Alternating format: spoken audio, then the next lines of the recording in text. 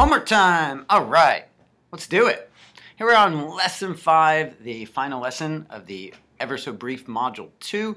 Let's start by jotting our name down on the top. Here's the deal. I'll put my name, you put yours. And then, because a thing that's worth doing is worth doing right, let's jot down the date.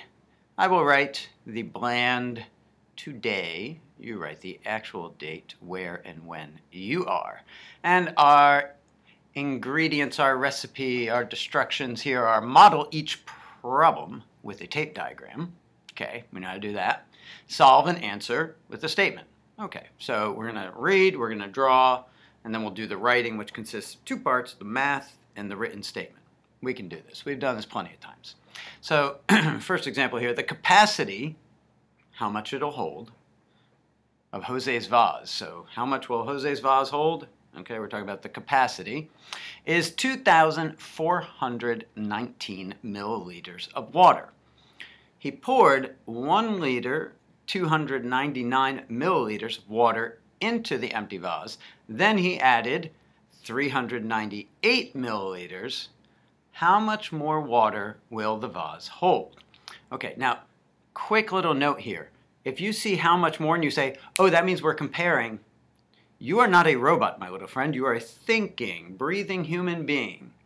We have to think. You can't just see, for example, uh, when you see uh, in all, you might have even been told this, that when you see in all, that means you're definitely going to add. No, not necessarily. Maybe sometimes, maybe even most of the time, the words in all are a cue, or perhaps better said, a clue that you might need to add. But it doesn't mean always. And same thing here. We're not actually comparing two different things, are we? We have the vase, put in some water, put in some more water. We're saying how much more? You know, how much is left of that capacity? Uh, we're not saying how much more is this than that. So there's no comparison here. And I'm stressing this because we are to draw one tape here to make this work. Could we draw more than one? Sure. But it's going to be best to draw just one. And even though we have one, I'm still going to label it V for vase just to keep in good habits. And here's the vase. It's lying on its side, or maybe it's just a very long, shallow vase. That's the whole thing there. And if you say vase, that's right too. I don't know. I'm just being snooty and saying vase. Okay, so uh, it holds, the whole thing is 2,419 milliliters. Okay, and make sure that's a capital L in milliliters. So that's the whole thing. What does he pour in there? I mean, in, in this case, we can, the, the tape diagram is practically a physical representation of what's happening here. So I'm pouring in some water. Okay, and I could see, I can, I can kind of estimate, and we're talking about about half, maybe a little more than half of the capacity there. So I'll say, you know, this much here is the water he's poured in. Maybe if I were really bored, I'd get out the colored pencils and shade that in a nice light blue to represent water. Don't do it, it's a waste of time. All right, one liter, and you see why we use a capital L there for liters, otherwise it would look like 11. 299 milliliters. So that's how much water he pours into the empty vase. Then he adds some more, 398 milliliters. Okay, so we'll call this 398. There's a little bow tie for it. 398 milliliters. And how much more water? Now, isn't this a beautiful tape diagram? Because it shows you exactly what's going on and what you need to solve and how to solve it. It does not tell you why. I don't know why Jose needs to know this. But anyway, we'll help him out because he's a good friend. So uh, this is what we're trying to solve for. The, the excess capacity here, how much more water it will hold. So let's call that W for water. That's our unknown we're looking to solve for. So we can see from the diagram, oh, okay, well, I need to figure out how much water is here in all, wink, wink, and then I can figure out the difference between how much total water is in there at this point and the excess capacity, how much more empty space there is. So I can start by putting these two together, but ah, ah, I see there we have mixed units here, and I have milliliters here. A couple ways I can handle that. Let's use our simplifying strategy and say one liter is 1,000 milliliters, and we have these 299 milliliters. All right. And we're going to add to that the 398. See how the bracket shows you? Hey, we're putting these two together. 398 milliliters. We'll put these two together and we'll see how much the two of them are, how much water is in there total so far. 9 and 8 make 17. Regroup that 1. 1 and 9 are 10. 9 more makes 19. 1 and 2 and 3. Got it, 6. And I'm adding nothing to the 1, so it's 1, 1,697 milliliters. Now, since I'm not done yet, I'm just going to leave it like that um, because I do notice, by the way, that my total capacity here is also expressed in uh, the smallest unit in milliliters. So if I take the total capacity, subtract the amount of water that's in there, it will give me the uh, empty portion, how much more water it'll hold. So I'll take the 2,419 milliliters, the whole capacity. And if I subtract from that how much water is in there, 1,697 milliliters. Yeah. Okay, now this will tell me how much space remains in the vase. So 9 minus 7 leaves a 2. Ah, uh, yeah, I got to regroup here. I can't take 9 from 1, so We'll go over to the hundreds. I will leave three of those hundreds as they are. Bring 100 over as 10 tens joined with the 110 that's already there in the tens place. So that's 11 tens. And I'm subtracting 9 tens from it, leaving 2 tens. And then now looking in the hundreds place, I have 3 minus 6, so I will decompose the thousands, leave 1,000 where it is. And the other 1,000 I will decompose as 10 hundreds, joined with the 300s already present in the hundreds place. 13 hundreds minus 6 hundreds leaves 7 hundreds, great, 7. And 1 minus 1 we know is 0, and I don't need to write that. So 722 milliliters. And does the answer make sense? Yeah, this is like 13 plus 1300 plus 400 is 1700.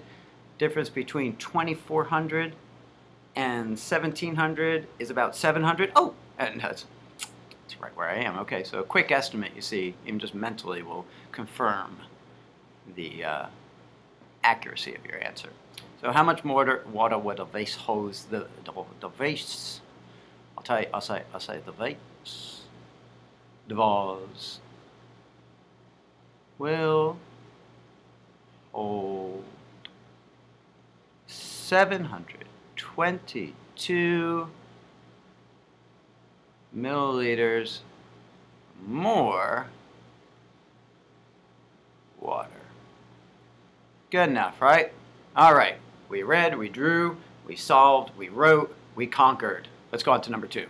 And here in number two, you suddenly realize, oh my goodness, this homework is entirely word problems. That's right, we've learned what to do here in metric conversions. Now we're putting it to use. So Eric, this guy Eric, hopped on his bike one day. And he biked one kilometer, 125 meters on Monday. Then, on Tuesday, he biked 375 meters less than on Monday. Question being, how far did he bike both days? Now here do we have a comparison. Yes, we have Mondays and we're saying Tuesday is this much less than Mondays. We are comparing the two days. We need two separate tapes for them. All right, so let's draw Monday. Whoa, where am I? Okay, Monday. And we'll draw yay about much for Monday. And we know the exact amount of Monday, right? They just tell us. It's one kilometer, 125 meters. Tuesday, however, is, is it more or less than Monday? Okay, it's, it's less. Okay, always good just to take a moment and make sure you got that right. Sometimes it can be a little confuddling. So uh, Tuesday is going to be somewhat less than Monday. I don't know, about that much maybe? Sure, fine. And now we don't know how much Tuesday is, right? We just know how much less it is. So what we know is this amount here. And if you like, you can clarify this by putting a little diddly-doddly line there. And that is 375 meters is the difference between the two days. Okay, so now though, uh, uh, uh, uh, what's our question? How far did he bike both days? So we need to know the two of them together, and we'll call that unknown, that variable b for bike. So now, in order to put the two of them together, I have to know what Tuesday's actual is, right? And to find Tuesdays, well, I know it's this much less than Monday, which is that much. And I think, again, I'll use that simplifying strategy. It's my preference, as you see. So to solve for Tuesday, I can take Mondays, so one kilometer is how many meters? Yeah, I gave it away, 1,000, and then 125 meters, so that's Monday expressed in the simplest unit as meters. And then if I subtract the difference there, the 375 meters, and I see I got some regrouping steam rolling towards me here, that will give me Tuesday, so I can combine it with Mondays to solve for B. All right, so uh, 5 minus 5 leaves 0. Good. And can't take 7 from 2 without some decomposition action. I will leave 0 in the hundreds place. Bring it over as 10 tens to the tens place, joined with the two tens already there. So now I have 12 tens minus 7 tens leaves 5 tens. I cannot take 3 from 0. But remember my little thing there? Look, that's 10 minus 3 is 7. Okay? If you want here, uh, we'll do it the long way. Fine. All right, so I'll take the 1,000, leave zero thousands there, bring it over as 10 hundreds, and look, voila, I'm still doing 10 minus 3 is 7, yes. And so 750 meters. That's my value for Tuesday. I'm going to write it. I'm just going to take note of that. It's a good practice. I'll write it right inside the tape here. So I realize that just that tape is Tuesday's value. Now if I put Monday and Tuesday together, I will get b how much he biked on both days, both bike. Uh, so uh, again, I already know how to, I already wrote um, Mondays, but let's do it, let's do it with the standard algorithm instead. So one kilometer, 125 meters, and that's Monday. Add to it Tuesdays, 750 meters, okay. And that will give me the two days together, my value for the unknown variable b. So, m plus m, no, just kidding. Uh, 5 plus 0 is, yes, 5. 2 and 5 make 7. 1 and 7, 8. And then I have this one kilometer over here, all by its lonesome, poor little fella, 875 meters. Now, if I had a value in the thousands here in meters, I would have to, yes, convert that over to meters, uh, to kilometers rather. So if there was something in the thousands here, if I had a thousand meters, I would have to convert that to kilometers for this answer to make sense. Um, but it's good just the way it is, and I kind of saw that coming. Wink, wink. So, uh, how far did he bike both days? So, uh, he biked. We'll write our statement. Good job, Eric, by the way. Keep it healthy. He biked one kilometer, 875 meters um, on both days. And just to be specific, I'll just, uh, you know, together, I'll, I'll add the word together, just so it doesn't seem like he did that much on each day, which is not the case. He biked one kilometer, 875 meters on both days together. Lovely, beautiful, wonderful. Let's rock on to number three.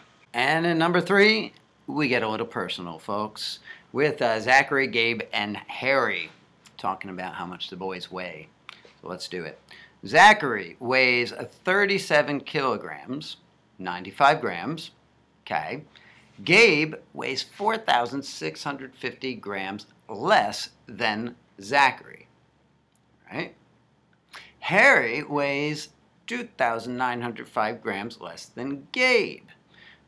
All right, so we have three guys are comparative weights, and the question then is how much does Harry weigh? So we're just trying to solve for Harry here. And, and as I said, comparative, we know we need separate tapes for each boy. They're not all joined together in some way. We're comparing Gabe to Zachary and then Harry to Gabe. So let's draw each boy out here. We'll start with Z for Zachary. And we know him exactly. And I'll just draw out, pull out an amount of tape from my tape dispenser. All right, and him we know exactly his whole weight, so that's why my bracket encompasses the whole tape. 37 kilograms, 95 grams. Now Gabe's is comparative. I know it's less than Zachary. I really might not have a sense yet of how much less, but that's cool, yo. Gabe is going to be less than Zachary. And so I'm just drawing it less. I don't know if this is proportional at all, but hey. All right, and so what I know here is the difference between them is 4,650 grams less than Zachary. Okay, good.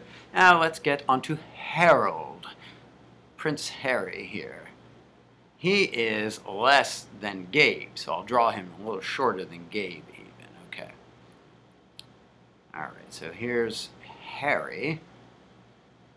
And I can see, okay, there's the end of Gabe. So, and I could do the dotted line down. I don't feel like it, and it's not necessary. Uh, so he's 2,905 grams less than Gabe. So uh, the question is to find H. That's what I'm trying to find. How much does Harry weigh? Well, in order to find Harry, I obviously need to first find Gabe to see how much uh, Harry is. So I need to start off with Zachary. Now, since two of my numbers are in the smallest unit in grams, and one of them only is in mixed units in kilograms and grams, I'm going to use my simplifying strategy and convert the kilograms and grams to straight grams so I can work with these numbers.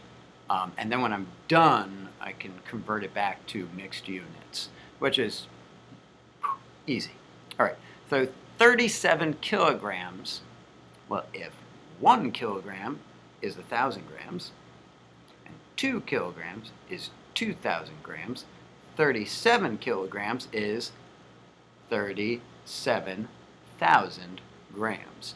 So I write 37 thousands my comma, right? And I have 95 grams as well. What's in the hundreds?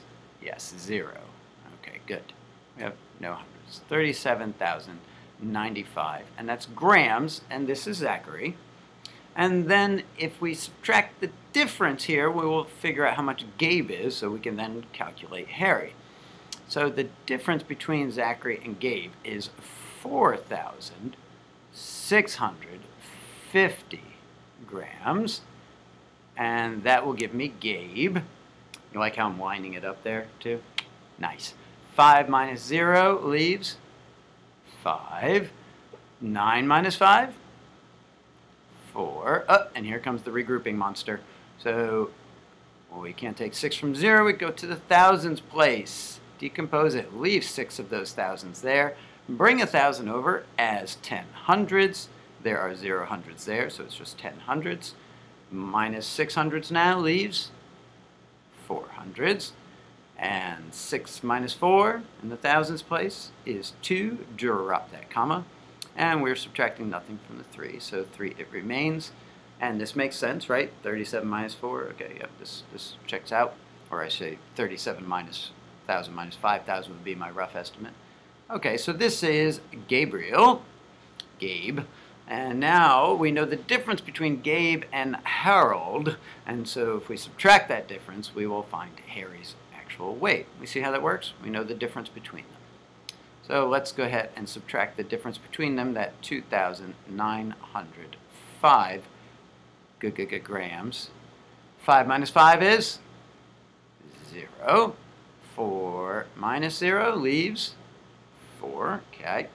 Ah, can't take 9 from 4, so we go over to the thousands place. Leave 1,000 there. Bring it over as 10 hundreds with the 4 already present. All right, it's a little squished there, but you can see it. 14 minus 9 now is 5. Lovely. Ah, I can't take 1 from 2, but look, remember I've showed you this. Look, 31, because we're at the highest place. 31 minus 2 is 29, right? There we go. 29,540 grams. Now that is my value for Harold ski here. So I'll write it over now that I know it. You know, and I don't have to do this, but it's good to. It helps me see it because when I write my statement, I want to convert this into kilograms and grams because that's how I was given uh, Zachary's weight at the beginning. Uh, in fact, let's just do that now. Let's say that is equal to, well, 29,000 grams is 29,000 grams, kilograms. Okay, kilo means thousand, right? So 29 kilograms, and then 540 grams is simply 540 grams. Lovely. All right, so how much does Harry weigh? Here's my statement, simply, Prince Harry weighs 29 kilograms, 540 grams, period. And let's go on to number four. And here in number four, we go dog crazy.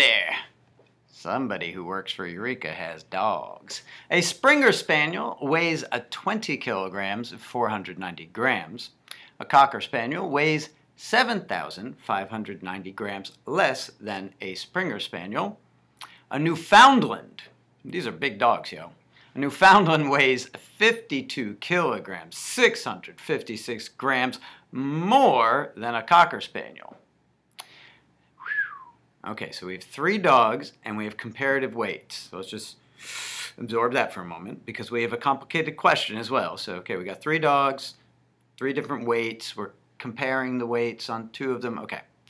All right, let's move on. What is the difference in grams between the weights of the Newfoundland and the Springer Spaniel? Ooh, so now we really have to think a little bit here. So let's use S for Springer and draw that tape. Here's our Springer. Now, we're starting there, not just because it comes first, because we're given that one straight out. We know exactly what it is, okay? So he is zippity-doo-dah. And I'm going to put the bracket over the whole tape because we know the whole amount here is 20 kilograms, 490 grams.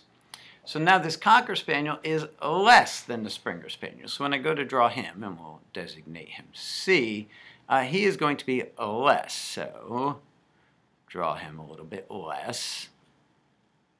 And so my bracket is not on his weight, but the difference between the two. Okay, so the difference between the two I've pegged at 7,590 grams. Now the Newfoundland Ooh, far above the Cocker Spaniel. So uh, we'll call him N, of course, and I'd probably have to draw the tape all the way across the paper, but I'm not going to do that. I am going to make it significantly longer so I know that I'm expecting a larger number here. Okay, and what I know here is the difference between the Newfoundland and the Cocker Spaniel, okay? So if I were to uh, draw a bracket for that amount, it's going to go from here, so I'm going to use a little dotted line. So here's the Cocker Spaniel, and I don't know how much he is. But what I know is this. You see, I know how much more the Newfoundland is than the Cocker Spaniel.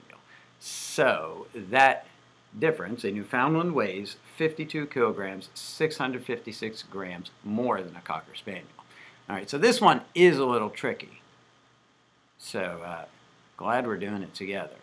656 grams. But wait, the trickiness is not over. What is the difference in grams, we're asked, between the weights of the Newfoundland and the Springer Spaniel? Okay, so the Springer I actually know, but I'm, at, I'm being asked what's the difference between here and here? All right, so this is my unknown. This is what I'm trying to solve for, the difference between the Springer and the Cocker Spaniel. That is, and let's call it, I don't know, D, because we're trying to find the difference there. Doesn't matter what we call it, really. And I'm going to do another dotted line here. So I see, okay, I'm trying to find this. That's kind of a complicated tape, but when you look at it, the beauty of these tapes, even when they are complicated, is that they show us exactly what we know, what we don't know, and what we're trying to find, and beautifully how to find it. So obviously, in order to find a Newfoundland, we need to know how much the Cocker Spaniel weighs. So um, let's find that first. We know it's this much, 7,000 and change, less than the 20 kilograms and change of the Springer Spaniel. So as, since we know our final answer is going to be in grams, let's convert everything all to grams, use our simplifying strategy in order to do that. So for the Cocker Spaniel, let's find him. So the 20 kilograms here on the Springer, I know that's 20,000 grams, right? 20,000, and then I have 490 grams. And I know the difference between them, so if I subtract the difference, I will get the amount of the Cocker Spaniel. So I'll subtract the 7,590. And you could see without even really doing any rounding that we're looking around 13,000-ish, right? Let's do the actual subtraction here. 0 minus 0 is 0. 9 minus 9, again 0. Here, though, in the hundredths place, we need to regroup. We see we can't take 5 from 4. So, and then we have to regroup across a 0 out to the 10 thousandths place. We'll leave one of those 10 thousandths. Because we haven't done this in a little while, I'm going to go through each step. Bring one 10,000 to the thousandths place as 10 thousands but that still does not help me in the hundreds place where I need it. And so of those ten thousands, I will leave nine as they are and bring one of those thousands to the hundreds place as ten hundreds joined with the four hundreds already present in the hundreds place is fourteen hundreds from which I can now subtract five, leaving, yes, nine. And then it's easy. Nine minus seven is two and 1 minus nothing is 1. Remember I said my rough estimate was 13,000-ish? This rounds to 13,000. Now I'm going to take a moment and right here, squeeze it in here. This is 12,900 grams is the weight of the Cocker Spaniel, so I do not confuse it myself. So the Newfoundland, we see, what we know about him is how much more he weighs than the Cocker Spaniel. So if we were to add this, the Cocker Spaniel's weight, to the how much more the Newfoundland is, we'd have the total weight of the Newfoundland, which obviously we need to solve for un, our unknown D.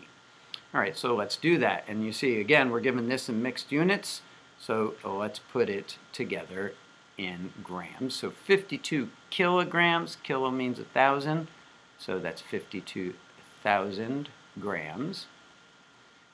656 grams in all.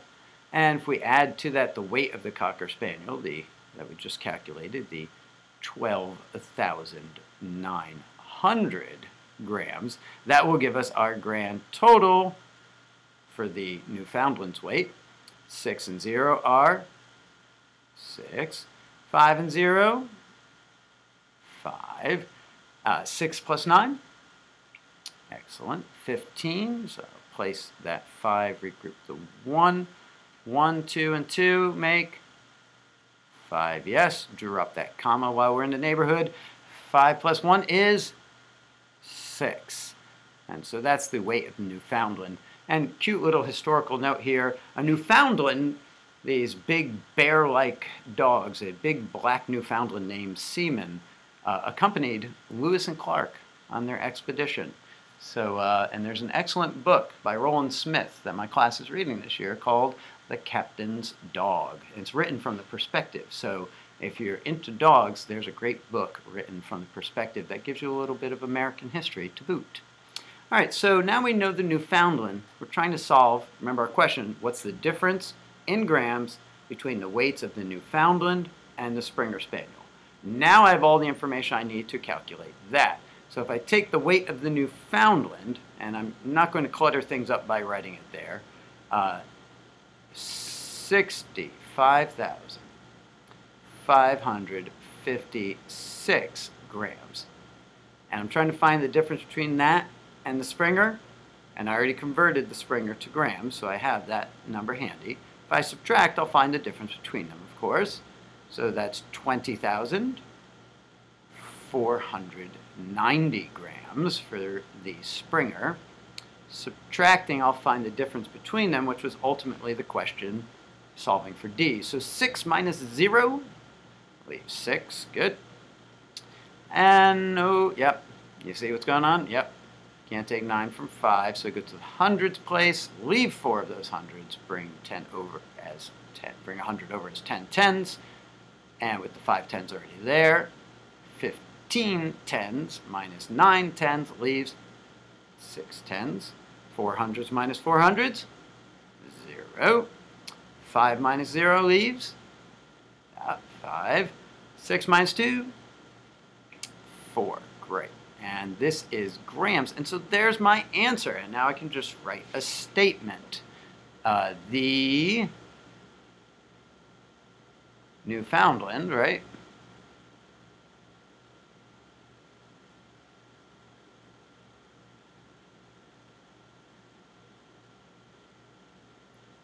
I could say the difference between the ways, but I'm going to say the Newfoundland weighs 45,066 grams more than the Springer Spaniel. So there's my statement, and we are done with number four. We got two more to go, so let's uh, hustle on over to number five. Marcia, well, Marcia, bless her little rug-loving heart. Marcia has three rugs. The first rug, I guess these are all runners that you put in a hallway or something. The first rug is 2 meters, 87 centimeters long. The second rug has a length 98 centimeters less than the first.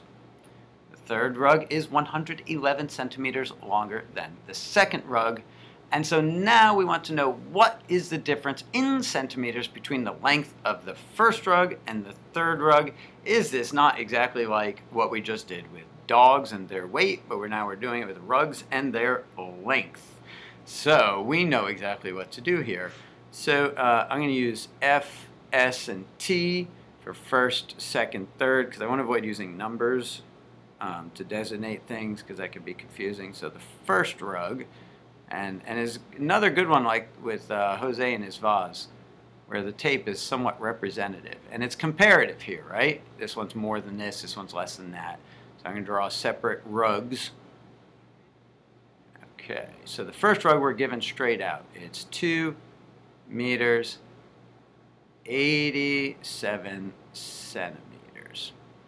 Second rug, let's see, we're comparing it and it is less than the first. So call that S for second rug. And we know it's less than the first. We don't know how much the how long the second rug is, but we do know the difference between them, and that is 98 centimeters. It's 98 centimeters less. Now the third rug is longer than the second rug, and, and I can actually tell that it's longer than the first one as well. Can I tell that? Yeah, because this one's 98 centimeters less, and this is 111 centimeters longer. Yeah, okay. So it doesn't matter, though, how you draw it precisely, because we don't really know all that just yet. But so I'm going to draw out my third rug. And what I know here is that the third rug is 111 centimeters longer than the second. So I know the difference, so I'm going to do another dotted line here. So this here which looks similar but is different from this amount here, is 111 centimeters. And what I'm trying to find is the difference between the length of the first and the third rugs. So that's the difference between this rug here, the first rug, and the third rug. And I could do two more dotted lines here, but I'm afraid it's going to muddle things up. So I will just simply draw my bracket. This is what I'm trying to find, and I'll I'll call it R for rugs, why not? Okay, so that's what I'm trying to find right there. So in order to do so, obviously, and, and there are a couple ways to go about this. There's a faster method, but we'll, we'll do it the sensible way. Um, if I, I, know the first rug, I can find the second rug. If I know the second rug, I can find the third rug. And once I have all that information, I can find the difference between the first and third rugs. So let's solve for the second rug. And since I'm giving my answer in the simplest unit, the smallest unit present here in centimeters, I will just work in centimeters.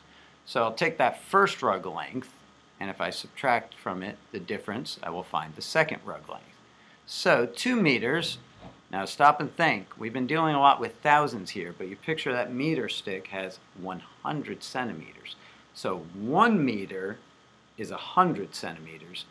2 meters is 200 centimeters. Okay, so 287 centimeters is the first rug. Do we see that? Okay, because the 2 meters is 200 centimeters. And if I subtract from it the difference there, that 98 centimeters, I will find the length of the second rug. And if you want to do this kind of quickly, you could do minus 100 and adjust by the 2 Okay, just you mental mathematicians throw that out for you. But we'll do it the long difficult way just for fun. Hey. All right, so I can't take 8 from 7, so I'll go to 10's place and leave 7 10s. Bring 1 10 over as 10 ones with the 7 ones already in the ones place is now 17 ones minus 8 ones, leaving 9 ones. And now I can look at this as 27 minus 9, and if you know your 9 facts, you'd know that's 18 just like that. Um, or we could do the regrouping and say, well, we'll leave 100, bring 100 over as 10 tens, which is then 17 minus 9 is 8, and 1 minus nothing is 1. See, 18, just like I said. So 189 centimeters, then that's our length here of the second rug, 189 centimeters. So to find the third rug, we know it's 111 centimeters longer than the second rug. So if I take this amount of the second rug and add to it the 111, I will get the third rug. So let me do that. I could just append it onto that existing equation, but I'm going to rewrite it down here so I have room to regroup. Plus 111 centimeters. And this will give me the length of the third rug. So 9 and 1 make 10. And I can see this as 2 and 8 also make 10 and 1, 1, and 1. Tree, wonderful, and that's centimeters. So now I know the length of the whole third rug, which I'm going to, even though it risks getting cluttered here, I'm going to make a bracket and note that that is 300 centimeters. So because now I see, okay, I'm trying to find the difference between these two. So if I take the third rug, the 300 centimeters and subtract from it the first rug, which I already converted to centimeters, is 287 right there, centimeters. All right, and I subtract them, I will find the difference between them. Now you could do all the regrouping here. You might be able to look at this and do the mental math and say, oh, 87 and 13 make 100. So the difference here is 13. Do you see that? Do you, do you, do you? Okay. Well, uh, if not, let's do the regrouping. All right, so I can't subtract there. It'll leave two hundreds, bring it over as 10 tens, which I need to use one of those, so leave nine tens. Bring it over as 10 ones. 10 minus 7 is 3. 9 minus 8 is 1. And, okay, 2 minus 2 leaves 0, so just as I said, 13. The, the faster way to do this, by the way, is, is noting that uh, the difference between these two rugs compared to the first rug. Do you see that? I don't want to confuse anyone, but we could have done this in a much simpler way. Uh, that this one's 98 centimeters less and this one's 111 longer. So that we could see quite easily the difference between the two. Um, but we'll leave it there for now and just write our statement. The difference in centimeters. Okay, so the, the uh, we'll write it this way as we did with the dogs. The third rug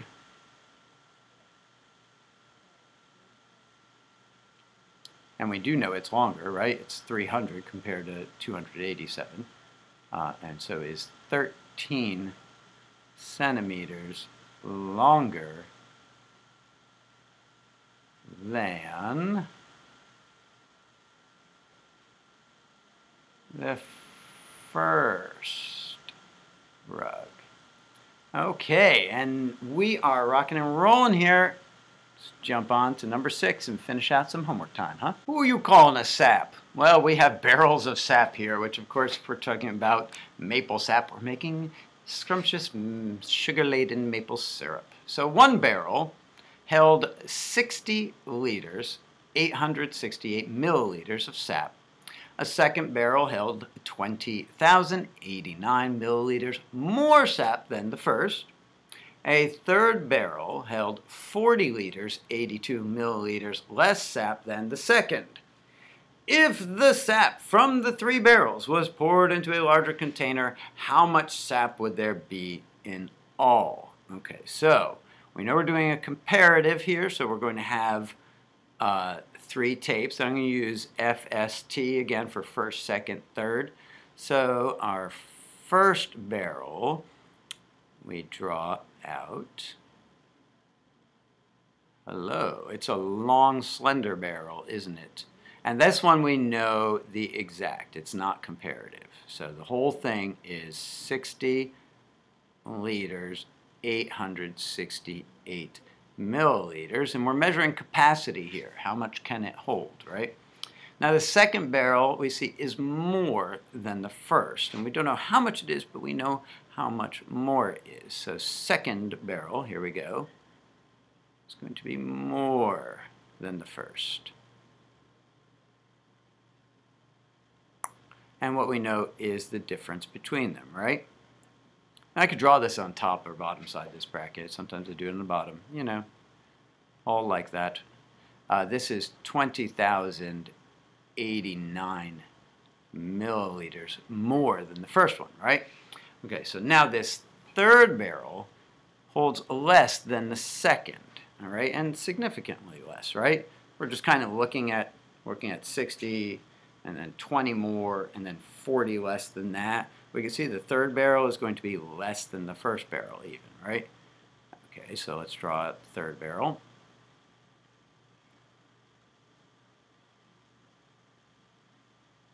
And what we know again is the difference, we know how much less it is than the second. So we know this here. This is 40 liters, 82 milliliters. And now we're looking at all the sap together, all three barrels. So we can draw one big stinking bracket over the whole thing here. And we'll call it S for sap.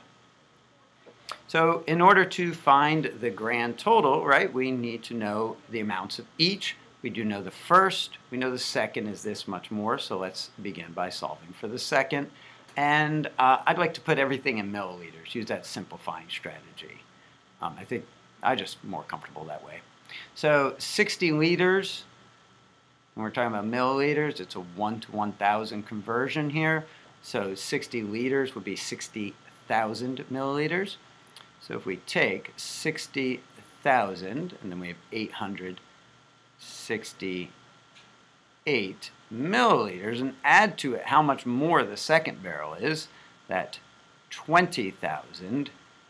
20,089 milliliters, then we'll have the amount of the second barrel. So let's do that.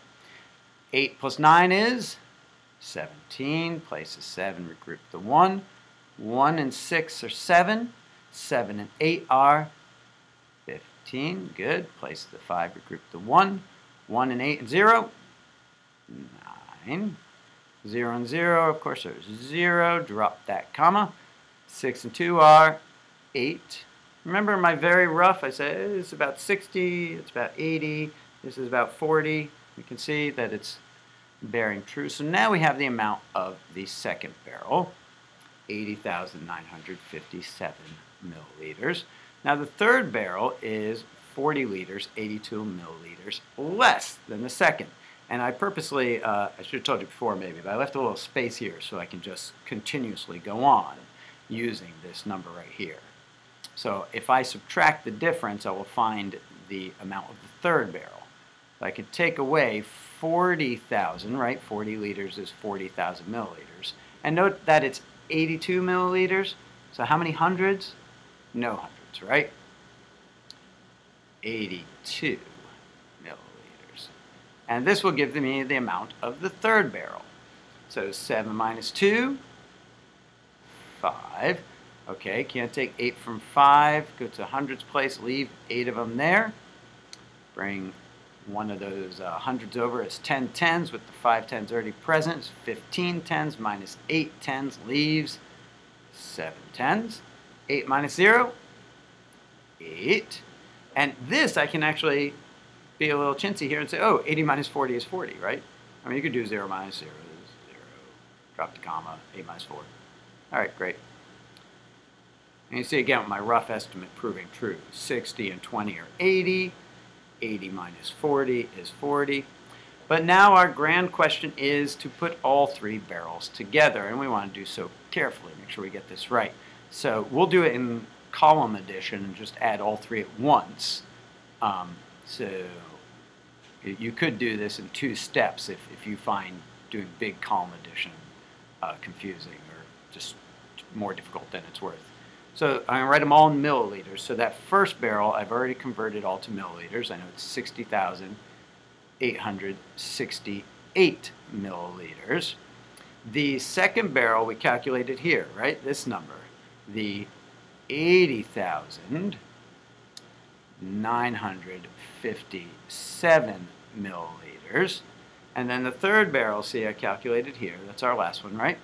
That is 40,000 875 milliliters, and I'm adding all three barrels together to get a grand total.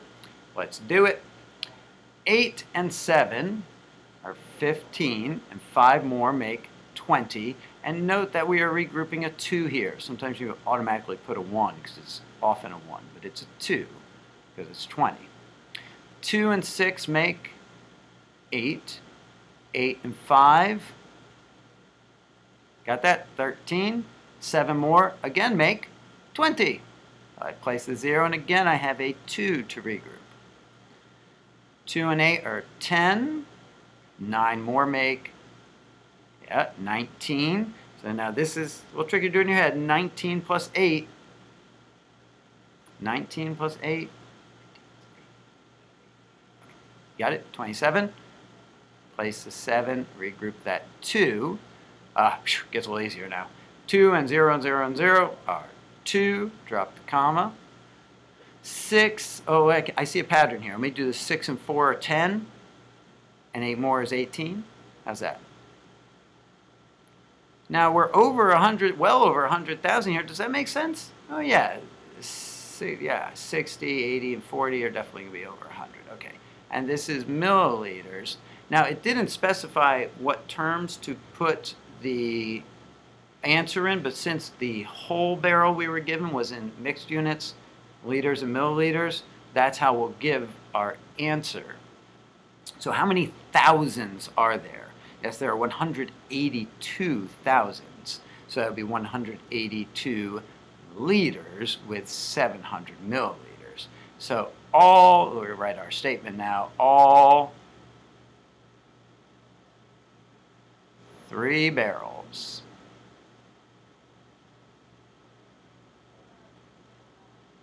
would hold 182 liters, 700 milliliters of sap, or whatever you chose to put in them. Beautiful! Whoa, you did it! Woo! What a homework time! So not only you're you done with homework time, you're done with Module 2. Congratulations, God bless on the test, and see you next time. It is homework time.